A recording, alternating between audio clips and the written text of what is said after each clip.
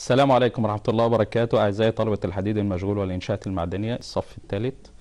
آه، إن شاء الله النهاردة معادنا مع مادة تكنولوجيا المعدات. آه، الحلقة اللي فاتت إحنا اتكلمنا عن ماكينة مقص المجموعة. إن شاء الله النهاردة هنتكلم عن موضوع جديد اللي هو ماكينات النشر الآلية. طبعا ماكينات النشر الآلية هي آه، أنواع مختلفة كذا نوع. كلها بتهدف لغرض واحد اللي هو فصل أجزاء المعدن إلى قطعتين أو أكثر إن أنا ممكن أعمل عملية نشر للمعدن آه، بفصل جزئين المعدن عن بعض آه، بتختلف الطريقة حسب الماكينة اللي أنا بستخدمها بس في الآخر هو الهدف واحد إن أنا أعمل عملية نشر طب إيه الاختلاف بين أنواع الماكينات المختلفة؟ الاختلاف هو قدراتها اللي هي بتقوم بيها آه، في ماكينات بتقوم بقطع قطاعات ذات أبعاد آه، صغيرة وفي ماكينات بتقوم بقطع آه، آه، أجزاء معدنية بتبقى كتل كبيرة. آه، فبتختلف آه، الآلة من آه، من آه، من ماكينة لماكينة على حسب حجم الخامة اللي أنا بقطعها. طيب إحنا النهارده عندنا ثلاث أنواع من ماكينات النشر الآلية هنستخدمهم أو هنشوف آه، آه، الوصف بتاعهم وأجزائهم وهنشوف طريقة التشغيل بتاعتهم ونعرف كل واحدة بتستخدم في إيه. هنشوف مع بعض دلوقتي ماكينات النشر الآلية. أنواع ماكينات النشر الآلية. أنا عندي هنا ماكينات النشر الآلية بتنقسم لثلاث أنواع. أول حاجة منشار الصينية النوع الأولاني. النوع الثاني منشار الشريط.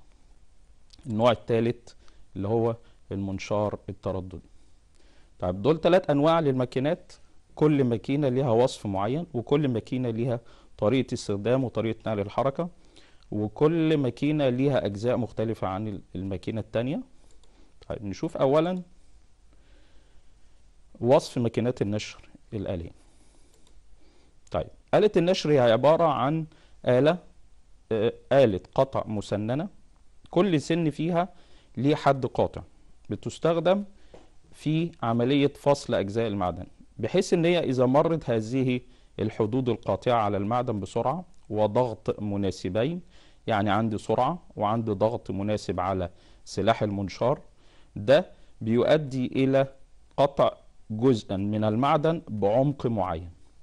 زي ما إحنا قلنا إن أنا بيختلف عندي ال- القطع في خامة ليها أبعاد صغيرة غير أبعاد كبيرة فكل ماكينة من الماكينات اللي إحنا هنتكلم عليها النهاردة ليها آه، استخدام معين هنشوفه في الشرح وإحنا بنتكلم.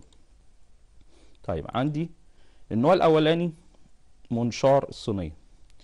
منشار الصينية هو عبارة عن منشار آه، بيستعمل منشار الصينية عندما تكون الخامة المراد قطعها كبيرة المقطع.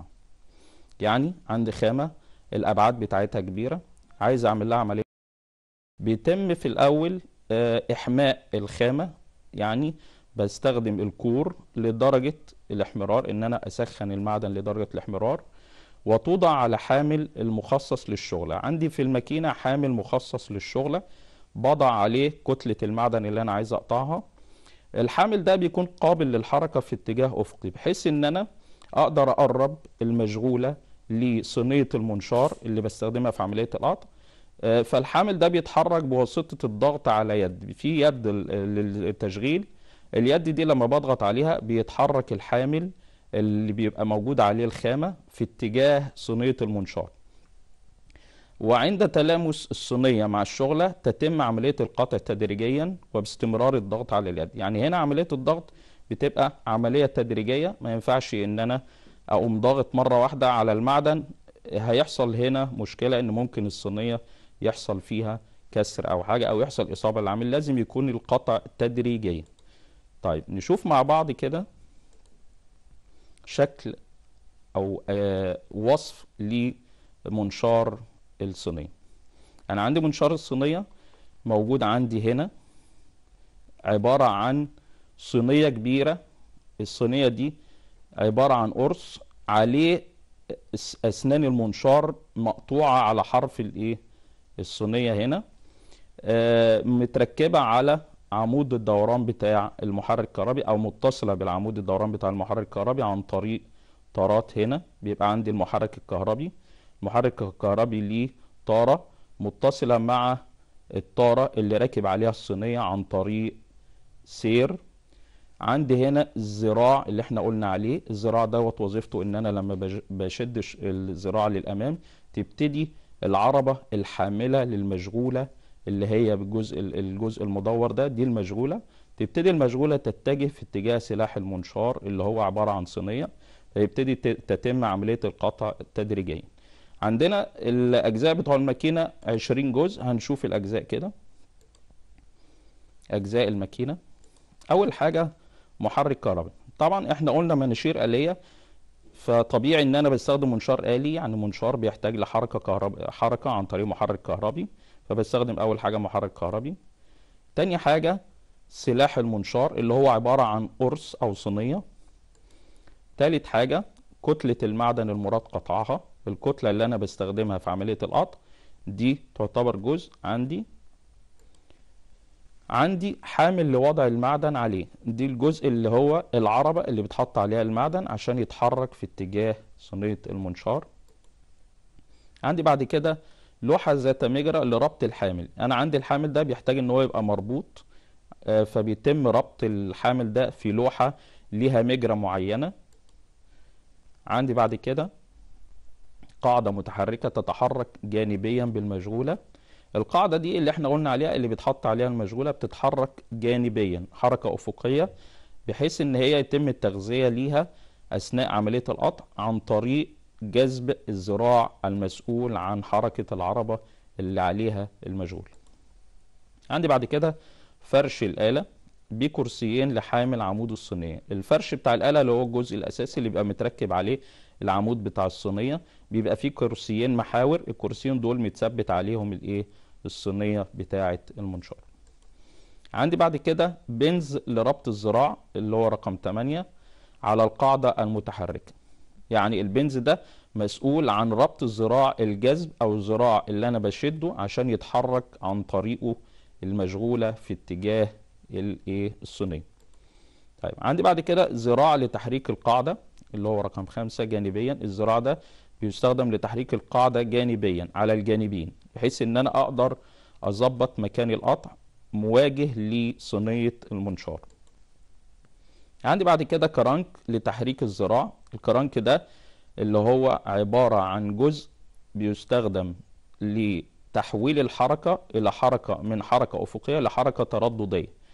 معنى كرانك إن هو عبارة عن قرص دائري آه، متثبت من المركز بتاعه عن طريق طارة أو بيتصل عن طريق طارة بجزء تاني اللي بينقل له الحركة وبيكون متركب على الكرانك ده قريب للمحور بتاعه الخارجي عن طريق فتحة معينة. ذراع الذراع دوت هو اللي مسؤول عن نقل الحركة أو تحويل الحركة من حركة أفقية إلى حركة ترددية. عندي بعد كده الجزء رقم 11 عمود أفقي تتحرك لتحريك المرفق دائريا. العمود الأفقي ده يستخدم لتحريك الذراع دائريا أو المرفق الواصل ما بين الصينية ويد التشغيل. عندي بنز لربط الذراع رقم 8 مع المرفق اللي هو رقم 9 دي حركة مفصلية بتتم عن طريق الربط بنز بيصل الذراع بالمرفق بحيث إن يحصل عملية تحريك لا مركزية للإيه؟ للذراع عندي خابور لتثبيت المرفق اللي هو رقم 9 مع العمود الأفقي. ده بيستخدم جزء معدني لتثبيت العمود مع المرفق. عندي ترس الجنزير لإدارة الصينية. ترس مركب على الصينية وعندي جنزير بيصل ما بين الترس وما بين الترس اللي بيبقى آه راكب على المحرك الكهربي عشان ينقل الحركة من المحرك الكهربي لصينية المنشار عشان تتم عملية إدارة الصينية. عندي بعد كده جنزير مكون من خمسة صفوف لإدارة الصينية. الجنزير ده فيه خمس صفوف بيستخدم لإدارة الصينية عن طريق نقل الحركة من الترس المثبت على المحرك الكهربي للترس المركب عليه الصينية. بعد كده جزء رقم 16 اللي هو عمود المحرك الكهربي. عمود المحرك الكهربي اللي هو عمود متفرع من المحرك الكهربي بيتم تركيب الترس عليه عشان ينقل الحركة من المحرك الكهربي للترس. عندي ترس مسنن خمس صفوف. ترس مسنن خمس صفوف عشان يتوافق مع الجنزير اللي فيه خمس صفوف بحيث يتم تعشيق الترس مع الجنزير لنقل الحركة من المحرك الكهربي لصينية المنشار. عندي رقم 18 ترس الجنزير مركب على عمود المح المحرك الكهربي. ده الترس اللي إحنا قلنا عليه اللي بينقل الحركة من المحرك الكهربي للجنزير وبالتالي من الجنزير للترس اللي متركب على صينية المنشار. عندي بعد كده وصلة لربط وتثبيت المنشار على العمود رقم 18 دي بتستخدم لتثبيت المنشار اللي هي الصينية على العمود الواصل للصينية. عندي آخر حاجة النقطة رقم 20 اللي هي يد التغذية وطولها متر تقريبا دي اليد المسؤولة عن عملية التشغيل اللي بيقوم العامل بجذبها للأمام فبالتالي بتقوم بتحريك الصينية أو بتقوم بتحريك المشغولة في اتجاه الصينية بحيث إن يتم عملية التغذية للقطع يدويا. طيب إحنا كده اتكلمنا عن أجزاء ماكينة منشار الصينية. نشوف كده طريقة التشغيل بتاعة الماكينة. عندي أول حاجة بتنتقل الحركة من محرك كهربي. طبعا عارفين إن عشان يبقى في حركة لازم يكون في محرك كهربي. المحرك الكهربي هو اللي بيقوم بتوليد الطاقة الحركية وبالتالي بتنتقل الحركة من المحرك الكهربي إلى صينية المنشار عن طريق الجنزير ذو خمس صفوف. ويلاحظ إن المنشار محمول على كرسيين ثابتين في الفرش. دول اللي أنا بستخدمهم لتثبيت الصينية عشان الصينية تبقى مثبتة في الفرش أو في المكان التثبيت بتاعها. طيب بعد كده بيتم ربط المشغولة في المنجلة المعدة للربط اللي هي الجزء اللي بيتحرك في اتجاه الصينية. بيتم ربط المشغولة تمام وهي موجودة أمام المنشار مباشرة بحيث إن أنا المشغولة تبقى مواجهة لصينية المنشار وبمجرد ما أنا أجذب الذراع للأمام يبتدي الجزء الحامل للمشغولة يتحرك في اتجاه صينية المنشار تدريجيا وبالتالي تتم عملية التغذية والقطع عن طريق صينية المنشار المواجهة للمشغول. تمام؟ طيب عندي بيتم الضغط على مفتاح التشغيل ده بداية. أنا عشان أعمل عملية نقل الحركة ببتدي أول حاجة أعمل عملية فتح للمفتاح التيار الكهربي. وبالتالي بيتم نقل الحركة من التيار بيتم نقل الكهرباء للمحرك الكهربي. وبعد كده بيتم تشغيل المحرك الكهربي فبتبتدي تدور الماكينة. ويبدأ المنشار في الحركة ويبدأ في قطع المعدن زي ما شرحنا وقلنا. وفي نفس الوقت بيكون م... في نفس الوقت متوافق مع عملية نقل الحركة من المحرك الكهربي لمنشار الصينية أو للصينية المسؤولة عن القطع. بيكون في تغذية عن طريق اليد اللي بتتحرك عن طريق جذب اليد جذب اليد للأمام فتبتدي العربة الحاملة للمعدن تتجه نحو منشار الصينية حتى تتم عملية القطع أو الشق. بالنسبة للمشغولة إلى الجزئين المطلوبين.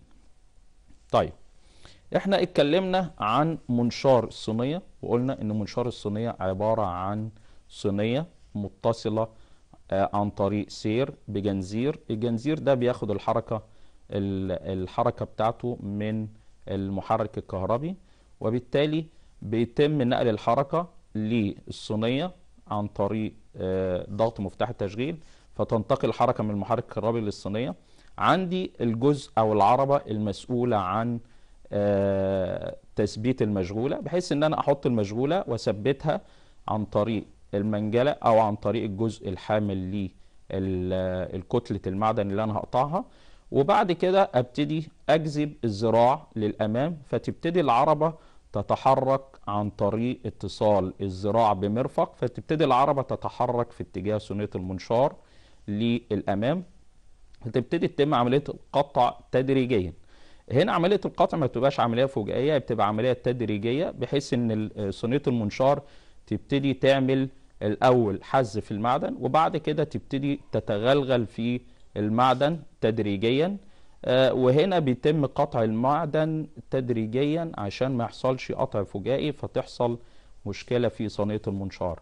فهنا لازم يكون عندي آه، آه، ضغط بنسبة معينة على ذراع التشغيل بحيث إن قطعة المعدن تتحرك في اتجاه الصينية تحرك بطيء تدريجيا بحيث تتم عملية القطع تدريجيا. طيب ده النوع الأولاني. النوع الثاني عندنا اللي هو منشار الشريط. منشار الشريط زي ما إحنا شايفين شكله كده ده بيستخدم في الورش بحيث إن أنا عندي آه، أكتر من وسيلة زي ما قلنا عندي منشار الصينية عندي منشار الشريط عندي منشار الترددي. ده النوع الثاني ده بيستخدم حتى كمان في نوع منه بيستخدم في ورش النجارة بيستخدم لقطع لالواح الإيه؟ آه، الخشب وقطاع وقطع الخشب. لكن إحنا عندنا ده بيستخدم في قطع قطاعات الحديد. طيب أنا عندي المنشار زي ما إحنا شايفين شكله عبارة عن محرك كهربي اللي هو الجزء ده. راكب عليه طارة. الطارة دي متصلة بطارة تانية. دي عشان تعمل عملية إيه؟ التوازن أو عملية إيه؟ آه ضبط ال- الحركة.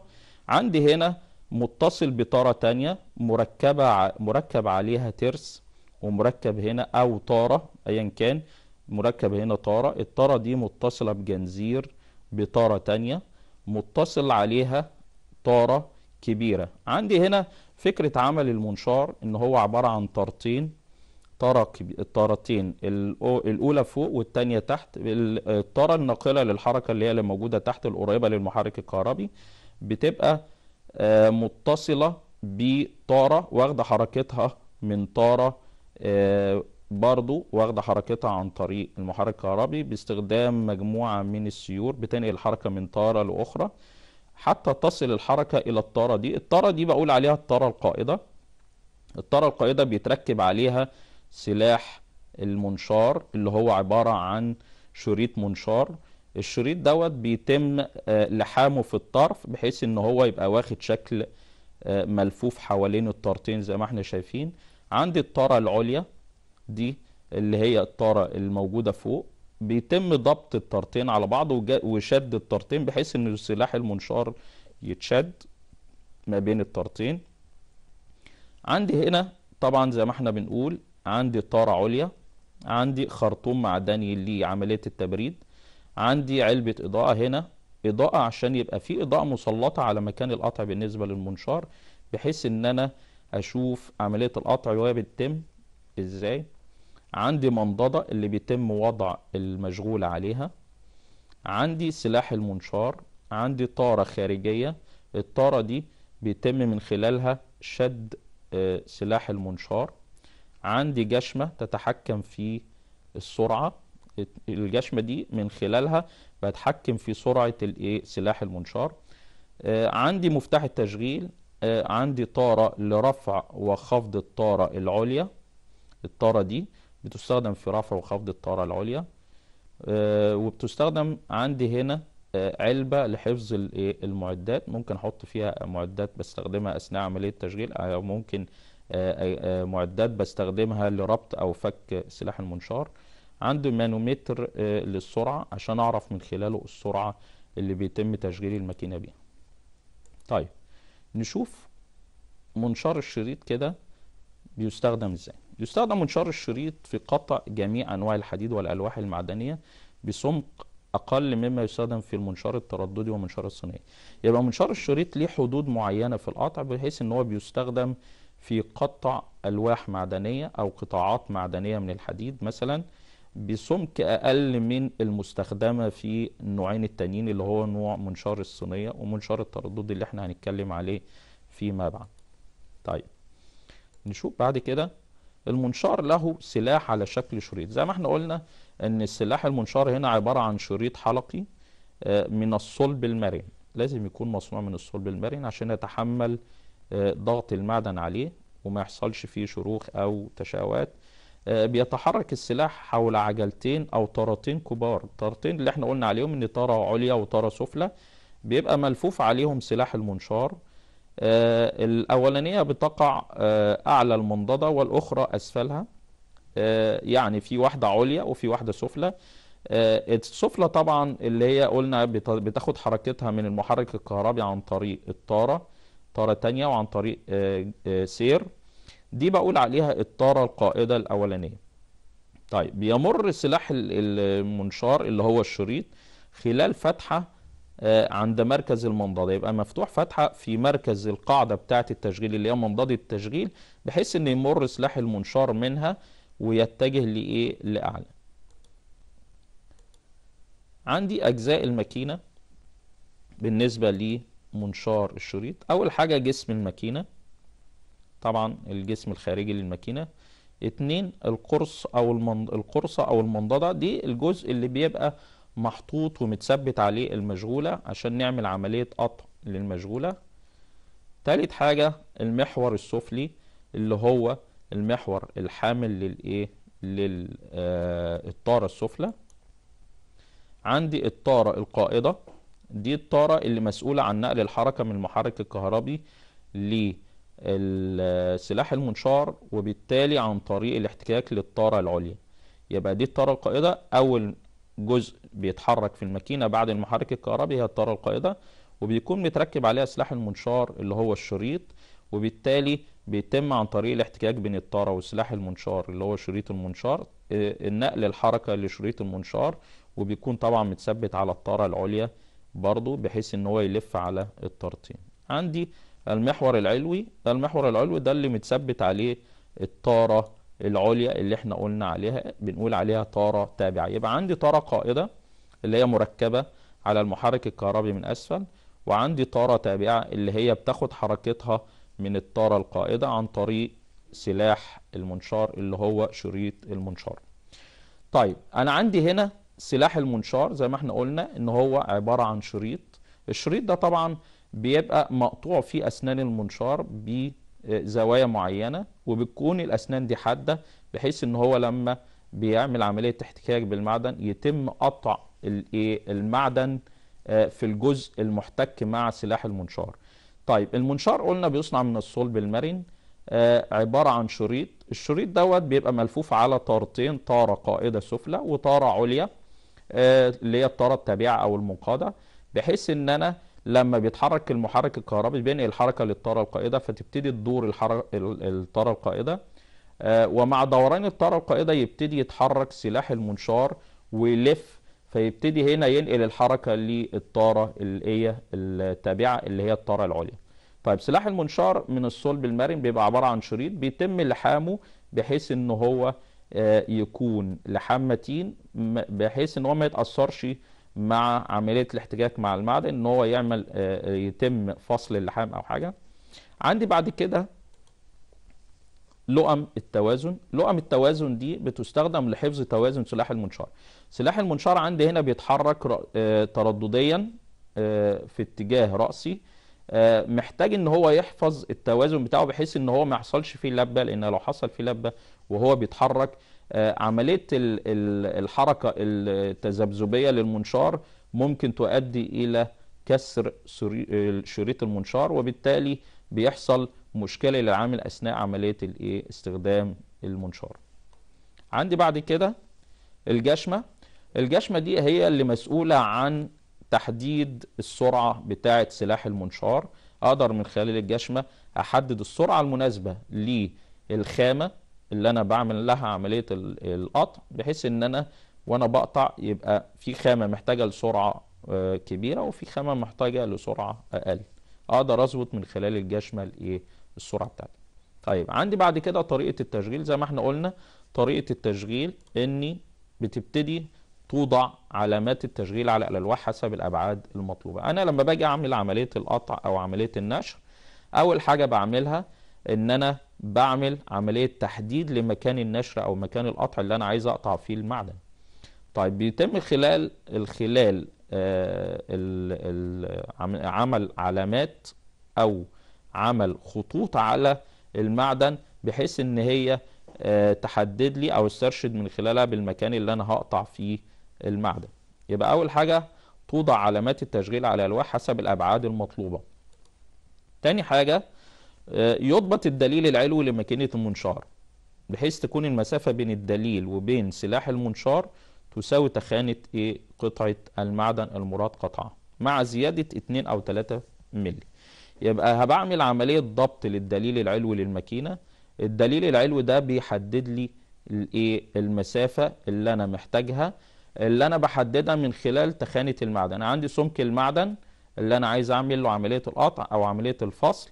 آه، بيحدده آه، بحدد من خلال ال- آه، الدليل ده المسافة اللي أنا هسيبها ما بين سلاح المنشار وما بين ال- المشغولة بحيث إن أنا أقدر آه، ما بين الدليل الأفقي بحيث إن أنا أقدر أحدد آه، مساحة المقطع أو مساحة القطع اللي أنا هقطع فيها المعدن. طيب أنا بحدد ال- الجزء دوت وابتدي أزود 2 أو 3 ملي بحيث إن ال 2 أو 3 ملي دول اللي هم سمك السلاح بتاع المنشار. عشان لما أجي أعمل عملية قياس بعد ما أخلص عملية القطع ما يحصلش إني إن ألاقي إن القطعة تم آه، قطعها بأبعاد أقل من المطلوبة. فأنا بعمل حساب ال- السمك بتاع سلاح المنشار بحيث إن أنا وأنا بعمل عملية القطع هيبقى فيه إزالة لجزء مواجه لسلاح المنشار. ما يكونش من القطعة اللي أنا عايز آه، أقطعها اللي هي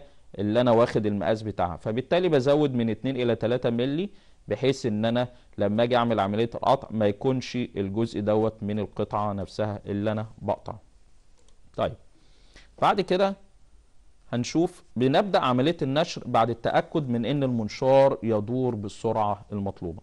طيب أنا أتأكد إن المنشار الأول قبل ما أعمل عملية القطع أتأكد من المنشار إن هو ليه سرعة معينة مناسبة لتخانة المعدن ومناسبة للمعدن اللي أنا بعمله عملية النشر بحيث إن أنا لو زادت السرعة عن الحد المطلوب هيحصل تلف في المعدن ولو قلت مش هيحصل القطع بالطريقة المناسبة فهيحصل هنا إن المعدن هيبقى فيه آه، خلل بحيث إن هو القطع مش هيبقى قطع مستقيم أو هيبقى قطع متعرج فبالتالي هنا لازم أظبط السرعة المناسبة مع نوع الخامة ومع سمك الخامة اللي أنا بعمل لها عملية القطع.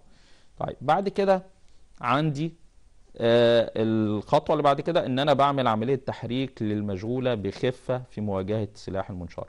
اتفقنا في منشار الصينية إن أنا بعمل عملية القطع تدريجيا ما بتتمش عملية القطع فجائية عشان ما يحصلش اصطدام بين المشغولة وسلاح المنشار.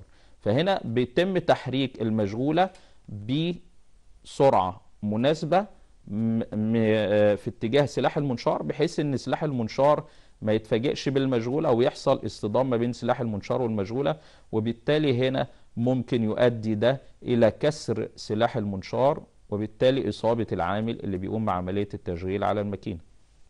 طيب بعد كده عندي يجب استعمال وسائل التبريد أثناء القطع. أنا عندي هنا عملية التبريد عملية ضرورية جدا. ليه؟ لأن أنا وبعمل عملية القطع بيتم احتكاك ما بين السلاح المنشار وما بين المشغولة. فهنا بيحصل نتيجة للاحتكاك ارتفاع درجة الحرارة. ارتفاع درجة الحرارة بالنسبة للمشغولة وبالنسبة لشريط المنشار. فشريط المنشار هنا لازم اعمل له عملية تبريد باستمرار. عملية تبريد الهدف منها إن سلاح المنشار ده ما يسخنش لدرجة أعلى من اللازم وبالتالي يحصل فيه إن هو يحصل فيه آه إن السلاح نفسه ممكن يبقى يلين وبالتالي هيتكسر آه ممكن يكون آه عملية تسليط زيادة عن اللازم وبالتالي ممكن برضو النشوفة بتاعته تؤدي إلى كسر سلاح المنشار. فبالتالي أثناء عملية التشغيل لازم أراعي إن أنا أستخدم سوائل التبريد الموجودة بحيث إن أنا ما أوصلش لدرجة حرارة أعلى من اللازم بالنسبة لسلاح المنشار. لازم أحتفظ بدرجة الحرارة بتاعت سلاح المنشار اللي هو شريط المنشار عندي لدرجة معينة بحيث إن هو ما يسخنش ويحصل فيه مشكلة. عندي بعد كده توقف المكي... توقف الماكينة بعد الانتهاء من العمل بواسطة مفتاح التشغيل. أنا عملت عملية تشغيل بالنسبة لمنشار الشريط. بعد ما بخلص الشغل بتاعي ببتدي أقفل مفتاح التشغيل. على علشان آه، أتأكد إن الماكينة توقفت وبالتالي أبتدي بعد كده أعمل عملية تنظيف للماكينة من الرايش والأماكن اللي حصل فيها القطع أشيل الرايش اللي موجود نتيجة لعملية التشغيل.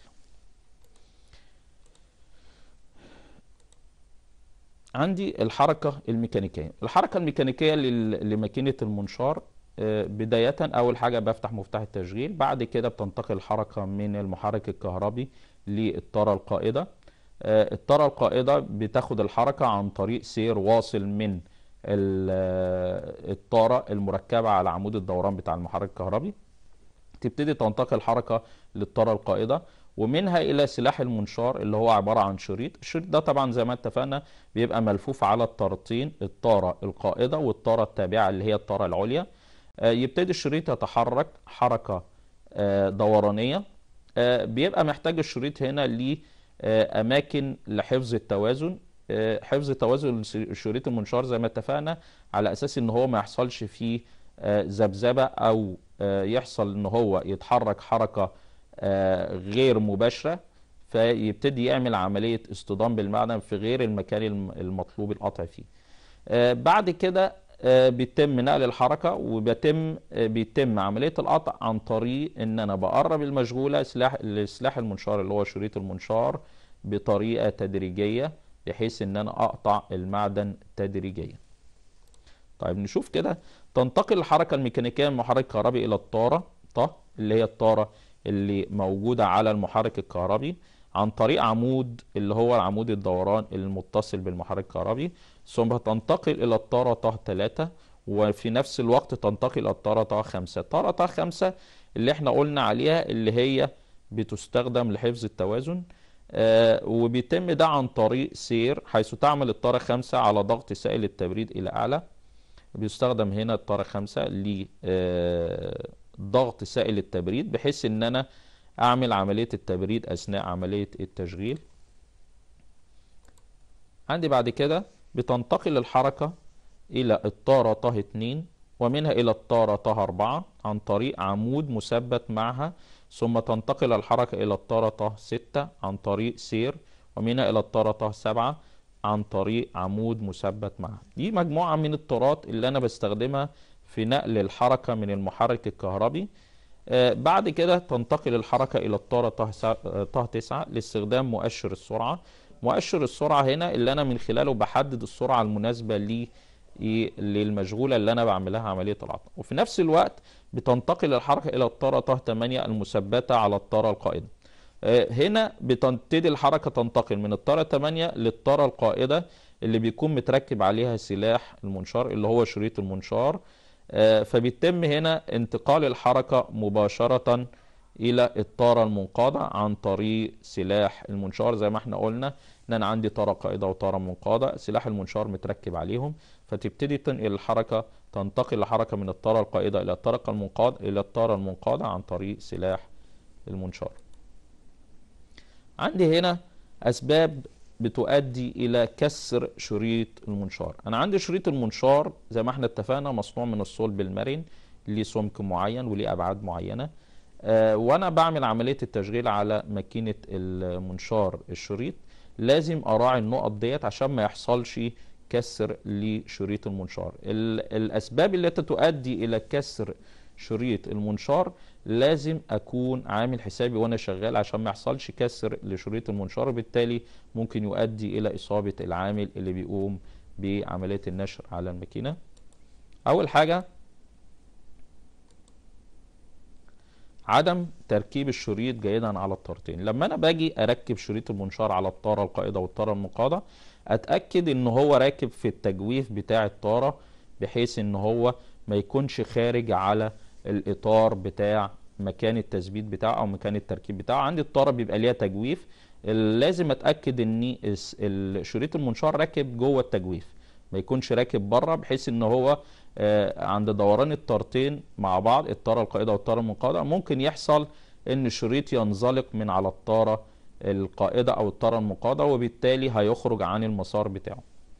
تاني حاجة المقاومة الفجائية ضد قوة استمرار حركة المنشار. اتفقنا إن عملية النشر بتتم هنا عملية تدريجية. ما ينفعش أعمل عملية النشر مباشرة بتقريب آه، المشغولة لشريط المنشار آه، بطريقة فجائية. لازم يكون التقريب المشغول تقريب المشغولة لشريط المنشار تدريجيا بحيث إن هي يتم عملية القطع تدريجيا وما تبقاش فجائية. عندي النقطة اللي بعد كده عدم شد المنشار جيدا بين الطارتين لو أنا آه، جيت ركبت آه، شريط المنشار وسبت شريط المنشار من غير ما أشده على الطارتين أثناء عملية دوران الطارة القائدة هيحصل إن شريط المنشار مش هيبقى منجذب على الطارتين وبالتالي مش هتنتقل الحركة للطارة العليا اللي هي الطارة التابعة وبالتالي مش هيتحرك شريط المنشار وممكن يحصل فيه خلل إن هو يحصل فيه كسر أو اصطدام بالجوانب اللي موجودة عندي الأماكن التوازن بتاعة شريط المنشار وبالتالي ممكن يحصل فيه كسر. عندي بعد كده دفع الشريط دائما للخلف. لما بعمل عملية تشغيل ما ينفعش أضغط على الشريط المنشار بحيث إن هو أدفعه للخلف لا أنا بخلي المشغولة تتقرب أو أو تكون مواجهة لشريط المنشار وفي نفس الوقت حركتها بتكون حركة بطيئة بحيث إن هي أه يتم عملية القطع عملية تدريجية ما يكونش عملية فجائية وبالتالي لو أنا ضغطت القطعة المشغولة على شريط المنشار هيندفع شريط المنشار للخلف وبالتالي هيحصل عدم اتزان فيه وبالتالي ممكن يحصل الكسر. النقطة اللي بعد كده آه اتفقنا إن شريط المنشار عبارة عن شريط مصنوع من الصلب المرن بيبقى فيه عملية لحام للطرفين.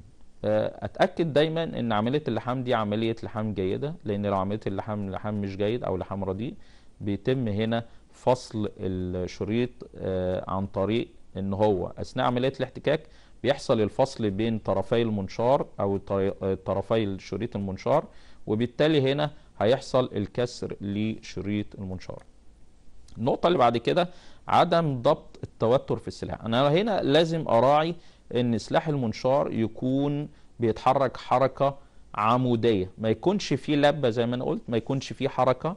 الحركة دي ما تبقاش حركة اهتزازية لأن الحركة الاهتزازية أثناء تقريب المشغولة لشريط المنشار هتعمل عملية كسر لشريط المنشار لأن شريط المنشار ما بيتحركش في اتجاه واحد بيبقى الحركة واخدة آه اتجاه متذبذب وبالتالي هنا بيحصل اصطدام بالمشغولة وبتدي يحصل عملية كسر لسلاح المنشار. عندي عملية تفليج أسنان المنشار. عملية تفليج أسنان المنشار إن أنا عندي أسنان المنشار بتبقى فوق بعضها ببتدي أعمل عملية تفليج إن أنا أحرك سنة الأولانية على اليمين وبعدين سنة شمال وبعدين سنة عدلة أو أحرك سنتين يمين وسنتين شمال وسنة عدلة. ده الهدف منه إيه؟ تفليج الأسنان. إن أنا أحرك الأسنان بحيث إن أنا أدي فراغ ما بين أسنان المنشار. الفراغ ده يسمح بمرور الرايش الناتج عن عملية القص أو عملية النشر. أثناء عملية النشر بينتج رايش من القطعة اللي أنا بقطعها. الرايش ده لو أنا ما عملتش عملية تفليج الأسنان هيبقى موجود بين أسنان المنشار وبالتالي هيعمل عملية آه إن المنشار سلاح المنشار مش هيتحرك بحركة آه مناسبة هيبقى فيه رد فعل للرايش ده مع المعدن وبالتالي المنشار مش هيتحرك بطريقة سليمة. عندي بعد كده إصلاح ولحام شريط المنشار. طيب لما يحصل أثناء عملية تشغيل كسر لشريط المنشار أبتدي أعمل عملية إصلاح. عملية الإصلاح دي بواسطة جهاز لحام كهربائي. بعمل عملية لحام لشريط المنشار وذلك إن أنا بعمل عملية تجليخ لمكان اللحام القديم أشيل أثر مكان اللحام القديم عند طرفي المنشار المكسور وبعد كده أبتدي أعمل عملية اللحام آه بإن أنا أضع القطعتين قدام بعض في في مشابك حديدية بحطهم قدام بعض وأشبكهم وأبتدي بعد كده أعمل عملية إيه؟ اللحام لشريط المنشار. بيستخدم لحام شريط المنشار يا إما الفضة أو النحاس والتنكار وبودرة اللحام. لو هعمل عملية اللحام لشريط المنشار ممكن أستخدم الفضة أو أستخدم النحاس. بستخدم معاهم طبعا المواد المساعدة اللي هي التنكار والبودرة البودرة بتاعة اللحام. وبيتم توصيل التيار الكهربي لإتمام عملية اللحام. وبعد الانتهاء من عملية اللحام يرفع السلاح وينعم. بعد كده ببتدي أعمل عملية إزالة للزوائد بتاعة مكان اللحام إذا إذا وجدت. وده بيتم باستخدام المبرد. بنظف مكان اللحام بعد ما بعمل عملية اللحام. وبعد كده بلاحظ إن اسنان المنشار لازم تكون منتظمة مع بعضها قبل إجراء عملية اللحام. يعني بوصل الطرفين ببعض بتأكد إن الطرفين مواجهين لبعض تماما بحيث إن أنا لما بعمل عملية الإيه؟ اللحام يبقى سلاح المنشار طرفينه مواجهين لبعض ما يكونش فيه حركة لجزء عن جزء وبالتالي بيتم اللحام هنا آه، في آه، شريط المنشار ممكن ما يكونش الجزئين مظبوطين وبالتالي هيحصل إن شريط المنشار هي مش هيأدي الغرض بتاعه هينكسر أثناء عملية الاحتكاك بالمجهول. طيب إحنا كده اتكلمنا عن ماكينة آه، منشار الصينية أجزائها وطريقة تشغيل وطريقة نقل الحركة. اتكلمنا عن آه، إن هي بتستخدم في قطع الكتل. اتكلمنا عن آه، منشار الشريط وقلنا أجزائه وطريقة تشغيله وقلنا إن هو بيستخدم في فصل قطاعات المعدن الصغيرة. هنتكلم دلوقتي على النوع الثالث اللي هو المنشار الترددي. المنشار الترددي فكرة عمله اللي هو شبيهة بالمنشار الحدادي العادي اللي هو عبارة عن إطار موجود فيه أو متركب فيه سلاح منشار ويبتدي الإطار ده يتحرك حركة آه، أفقية على المعدن بعد ربط المعدن في المنجلة فيبتدي تتم عملية القطع.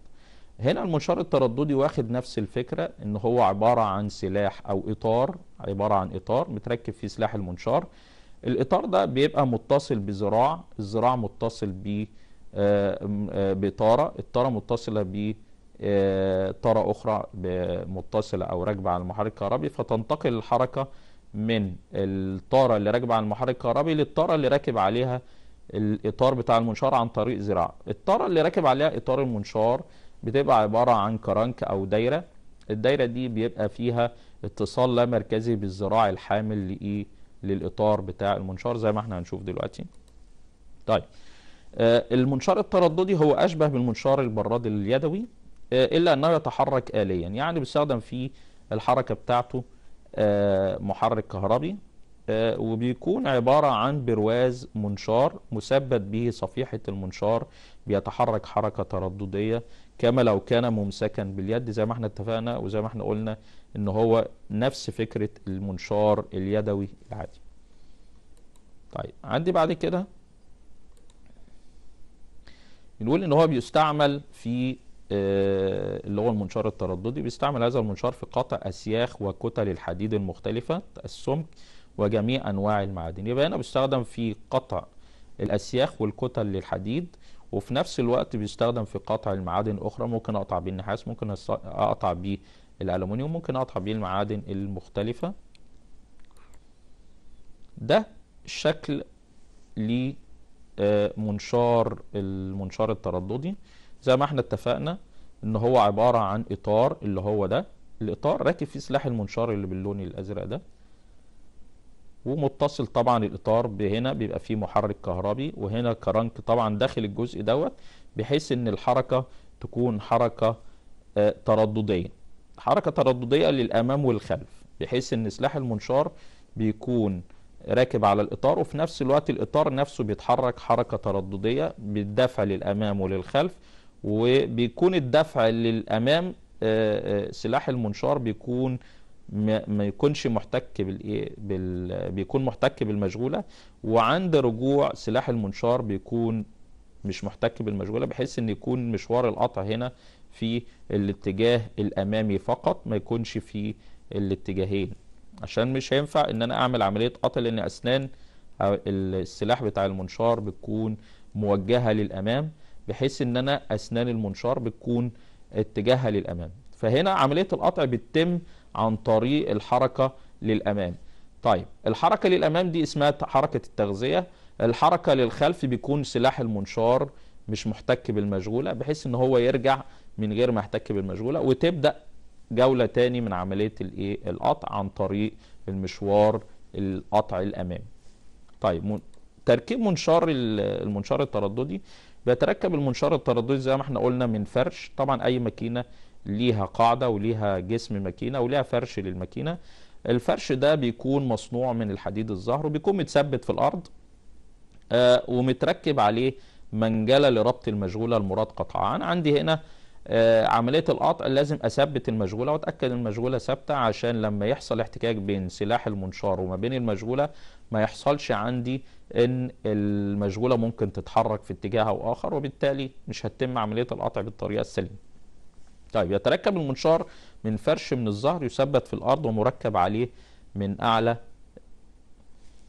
مركب عليه من أعلى آه، منجلة الربط ال- ال- لربط المشغولة المراد قطعها وفك علوي يتحرك إلى أعلى وإلى أسفل بحيث إن أنا آه، أعمل عملية تثبيت للمشغولة طبعا حتى يمكن ربط المشغولة في مكانها بالمنجلة. ويتحرك البرواز داخل الفك العلوي تردديا داخل مجرى غنفاري يبقى هنا في مجرى بيتحرك فيها الايه؟ البرواز بتاع المنشار. طيب ده شكل تشريحي زي ما إحنا قلنا للمنشار نفسه. أنا عندي هنا إطار الإطار بتاع المنشار اللي راكب فيه سلاح المنشار. عندي هنا سلاح المنشار عندي المنجلة اللي بيتم تثبيت فيها المشغولة اللي هي الجزء ده. دي المشغولة بتاعت اللي مثبتها. عندي هنا الإطار متصل بذراع الذراع ده متركب على كرنك اللي هو الجزء ده أو ترس eccentric. ترس eccentric يعني ترس في جزء مفرغ أو في آه، ثقب قريب للمحور بتاعه بحيث إن أنا أركب فيه الذراع المتصل بالإيه؟ بالإطار بتاع المنشار اللي هو برواز المنشار. طيب وبيكون ال- الترس ده متركب آه، على آه، محور. تمام؟ والمحور ده متصل هيكون متصل الترس هنا عندي بترس تاني. الترس التاني متصل راكب عليه طارة راكب عليها آه، سير متصل بطارة اللي هي بتاخد الحركة من المحرك الكهربي. يبقى عندي محرك كهربي عليه طارة الطارة دي راكب عليها سير السير متصل بطارة تانية. فيها جزء عبارة عن ترس مسنن يعني راكب عليها ترس مسنن متعشق مع الترس ال eccentric اللي إحنا قلنا عليه اللي هو بيتركب عليه دراع التشغيل. اللي هو متصل بالإطار بتاع المنشار ومتركب عليه سلاح المنشار. طيب الحركة هنا بتتم عند دوران المحرك الكهربي يبتدي ينقل الحركة عن طريق السير لل... لل... من الطارة اللي مركبة عليه للطارة الأخرى عن طريق سير. آه، الطارة الأخرى متثبت عليها ترس زي ما إحنا قلنا متعشق مع ترس eccentric. الترس ال eccentric ليه جزء آه، لا مركزي متركب فيه دراع. الدراع ده متصل بالإطار. لما بيتم تحريك ال ال دوران محرك كهربي يبتدي الترس ال eccentric ده يلف فيبتدي الدراع ده يتحرك للخلف.